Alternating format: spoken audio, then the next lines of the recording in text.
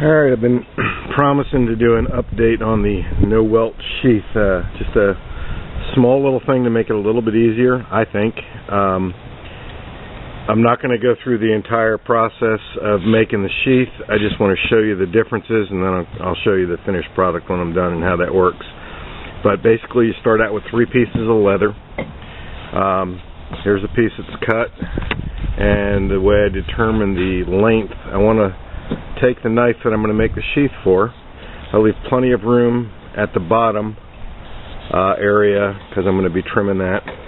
And I want just the top of the handle above the fold in the sheath.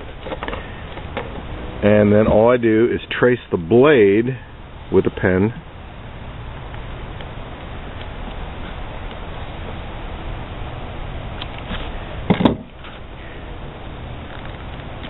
That's it, just tracing the blade with the pen. Um, and then, if you'll recall in the first uh, way I showed to do it, you take and you you thin that leather in there. You take a, a knife or um, a skiving tool and you thin it. Well, we're not going to thin it anymore. We're going to actually cut it out, but I do want to leave a little flap at the top. So I'm just going to mark that. And the way I cut it out, pretty simple, just with a sharp razor knife.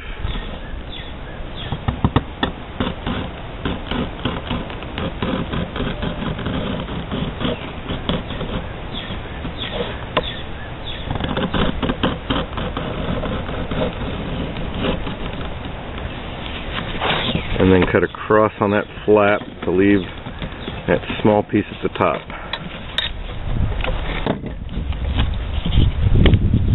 Alright, so that's what you're left with. Now you've got a hollowed out, instead of thinned out, you've got it hollowed out completely. And now this I want to transfer to the back of this, and the reason I want to do that is so that I can line it up when I'm gluing it, and also you'll see with this flap why I do that.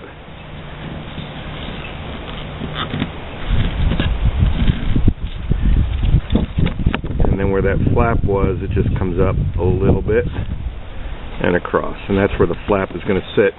Now, on the first uh, way I showed to do it, you also thin this part. So you thin, or you didn't do anything down here, I'm sorry, uh, on the back piece of this leather. You just thin this, and then for your top piece, you thin the back of that. We're not going to do anything with the top piece this time. We're going to do it all here. But now I do need to thin that flap and then the area that the flap is going to go. So to do that, I just score it a little bit.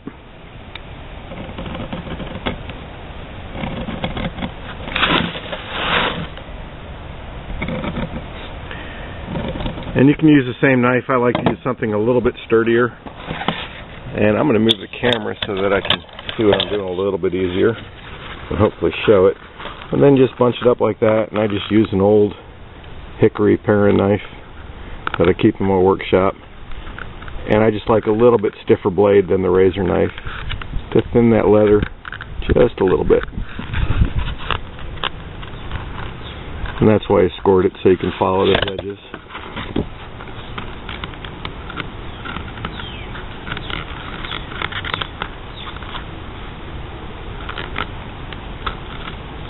And then I want to do the same thing with this flap that I cut. I didn't cut it completely. I need to cut this side. Okay.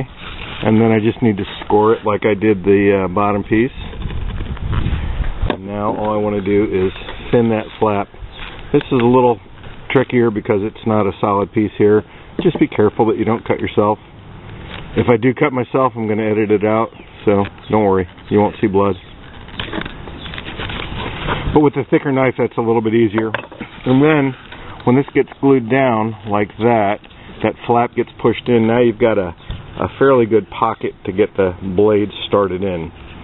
Next thing I want to do is for the top piece, I come right to the top of those cuts with this piece and I'm going to cut a little bit off of it on the bottom.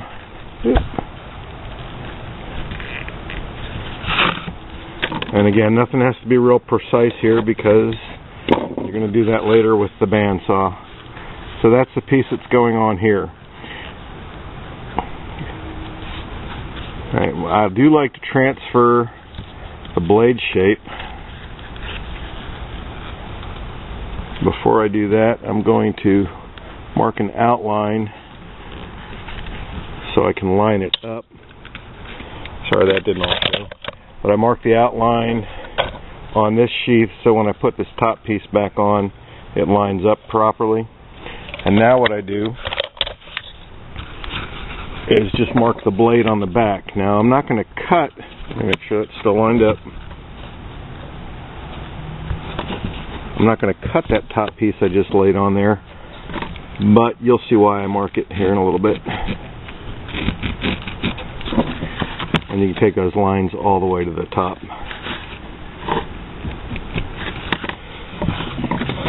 So after I glue that on, and then I glue this piece on, the knife will slide right into that pocket because we've got that depression right there with these little flaps.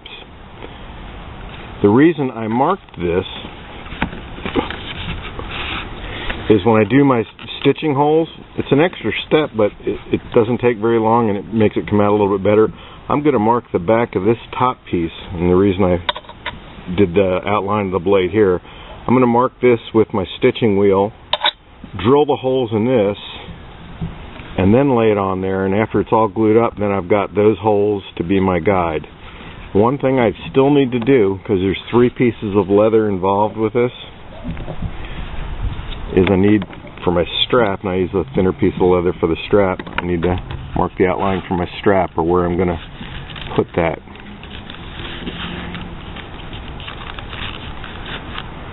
So again with the blade in there like that I know I want to put a strap here and I want the snap to be right about there. I'm just going to cut those out and uh, then this will be ready to glue up. If you're going to do any tooling, which I am going to do, um, I do it to this piece of leather before I glue it on. Because remember, after everything's all glued up and the strap's installed and all that, then I just take the bandsaw and I cut the outline of the sheath. Um, just simple, and that hasn't changed any. So the only real change to this process is tooling that piece of leather before you put it on there, and then cutting that out completely. It makes for uh, a little bit easier process, I think. Uh, what I've got left here is just to punch a hole, cut a little slit, glue it up, glue it up, I'm done. I'll probably dye this leather before I uh, do. This is the knife that's going to be in there. It is not done yet. With the hole cut and the slot for the strap and the snap cut, the next thing I want to do is put the strap through here. And you can see I've already marked this, but basically mark the width of the strap on the back of that so that when I glue it up you don't have the strap sticking up because this is going to be in the belt loop area and you don't want it to catch so it'll sit flush with the uh, leather here so since that's marked already and again just take the uh, knife and score that edge a little bit. You don't want to cut too deeply. And again using the a little bit sturdier knife you can do it with the razor. I just find it easier this way. Just skin off a little bit of that leather. If you go too deep and cut all the way through, you get to start again.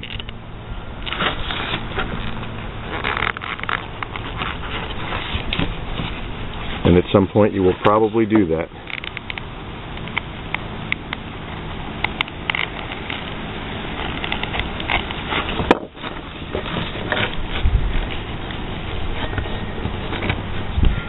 And then what I do is thin a little bit of the leather from here out so that it will sit flush. I'll get that done, uh, get everything dyed up. Don't need to show you the dyeing, uh, how to dye the leather. I'm going to do some tooling on this before I dye it. Uh, get that. Okay, as you can see, it's all sewn up. I've got a line mark that I want to cut with the bandsaw to cut out the sheath. So let's go ahead and do that.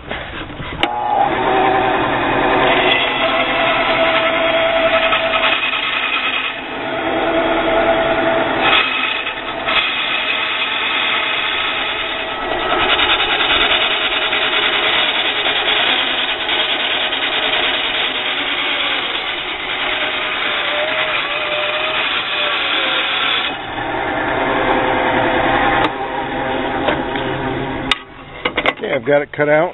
I'm going to clean it up a little bit on the belt sander and then dye the edge and put a, a sealant on it and we'll be done. Okay, the sheath is done. Um, the knife's not, but the sheath is.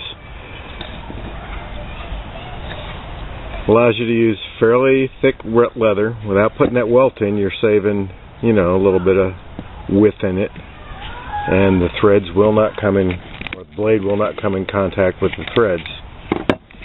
You see how that works there. It just slides into that little pocket that you've created. Pretty simple way to make a sheath. It's one way. There's probably a hundred. Thanks for watching.